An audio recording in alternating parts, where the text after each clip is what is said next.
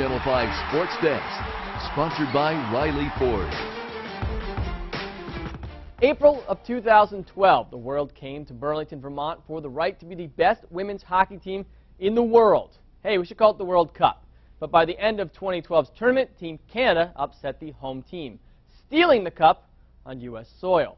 Prior to the 2013 tourney, USA made a stop in Lake Placid for the second straight year. The chance helped prepare the United States for another shot at the cup, this time in Canada, home of the defending champs.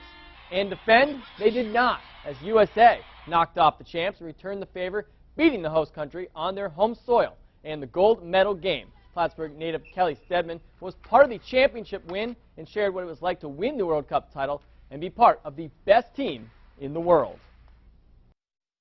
We were all pretty uh, pretty amped because we knew we were going to go up to Canada and uh, get a chance to redeem redeem ourselves and um, you know make sure that we got the win on their home soil. So it, it was awesome. Canadian flags everywhere. There was a small section of U.S. fans that came. Um, probably half of them were my family members.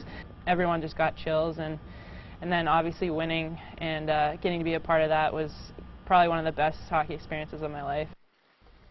Of course, making the 2014 Olympic team would have to be up there as well if she's able to make it.